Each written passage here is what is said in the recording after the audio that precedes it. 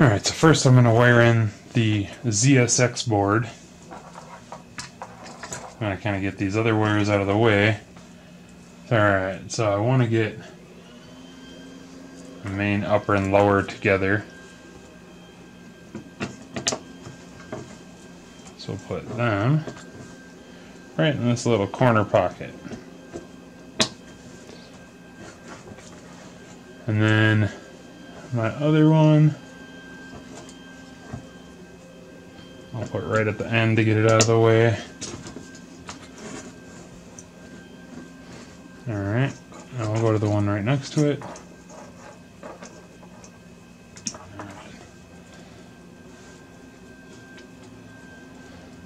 So again, I'm going to skip this slot. Actually, I'm going to take my other power from the top and I'm going to put it next to this power from the top. That's an extra wire. And I'm going to put the next two in a row. Don't know how well you see it because my big old hand's in the way. But just nice to pair them up close to each other. Um, I've read it multiple places, but I'm guessing it's the sinking and sourcing of stuff. Um, it's just a guess. I'm not 100% sure. And I'll take the other two power those up.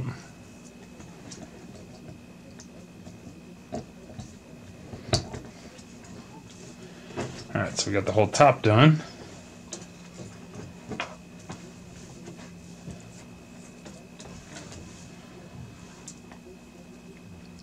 I'm going to run these, since it's so close, I'm going to run it to the outside edge.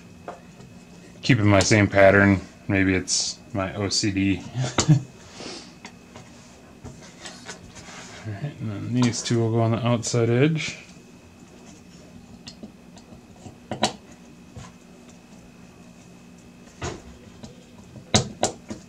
And this one I'm going to run through the middle.